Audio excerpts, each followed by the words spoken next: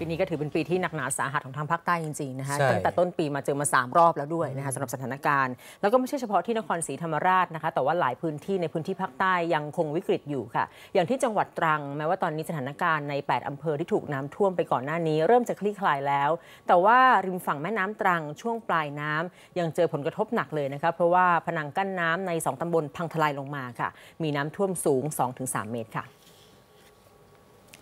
ผู้สื่อข่าวสำนักข่าวไทยได้ออกสำรวจพื้นที่ที่รับผลกระทบหลังน้ำเหนือไหลบ่าจากอำเภอทุ่งสงจังหวัดนครศรีธรรมราช ไหลหลากเข้าพื้นที่ รวมทั้งพนังกั้นน้ำในตำบลบางรัก และตำบลหนองตรุดพังทลายพร้อมกันทำให้หลายหมู่บ้านในตำบลบางรักและหนองตรุดรวมถึงหมู่สี่บ้านป่าหมากตำบลนาตาล่วง มีน้ำท่วมสูง 2-3 เมตร ประชาชนเดือดร้อน 70 หลังคาเรือน แล้วก็พบด้วยนะคะว่าบ้านหลายหลัง เริ่มจะมี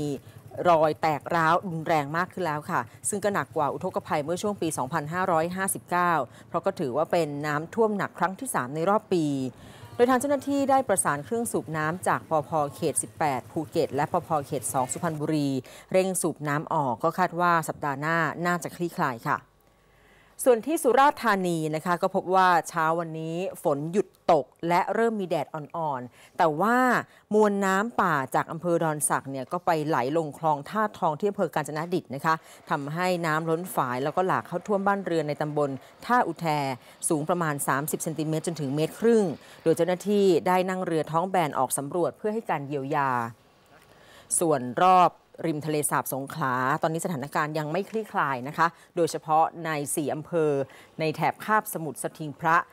ล่าสุดค่ะ ระดับน้ำได้เข้าท่วมไปถึง 2 ตำบลในอำเภอควนเนียง โดยมีน้ำหนุนสูง กินพื้นที่ลึกเข้ามาบนฝั่ง รัศมีประมาณ 1-2 กิโลเมตรทำให้บ้านเรือนประชาชน รวมถึงวัดจมอยู่ใต้บาดาล รวมถึงโรงเรียนสามโรงก็ต้องปิดการเรียนการสอนด้วย ไม่ต่างอะไรจากที่พัทลุงนะคะ พื้นที่ 5 อำเภอริมทะเลสาบสงขลารวมกว่า 60 หมู่บ้าน ยังจมอยู่ใต้บาดาล ระดับน้ำบางจุดสูงประมาณเมตรครึ่ง ชาวบ้านต้องอพยพออกจากพื้นที่